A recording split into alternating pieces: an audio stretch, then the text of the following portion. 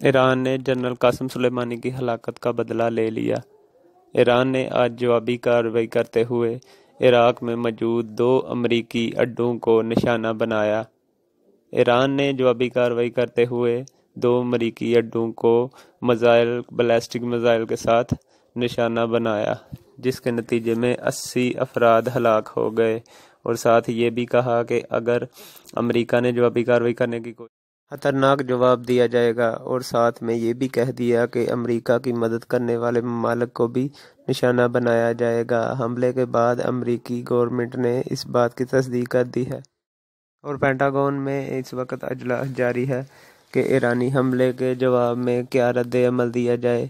امریکی گورنمنٹ نے ابھی کوئی فیصلہ نہیں کیا۔ حالات اس وقت دونوں ممالک کے درمیان کافی کشیدہ ہیں۔ یہ کشیدگی کہاں تک جائے گی یہ تو آنے والا وقت ہی بتائے گا۔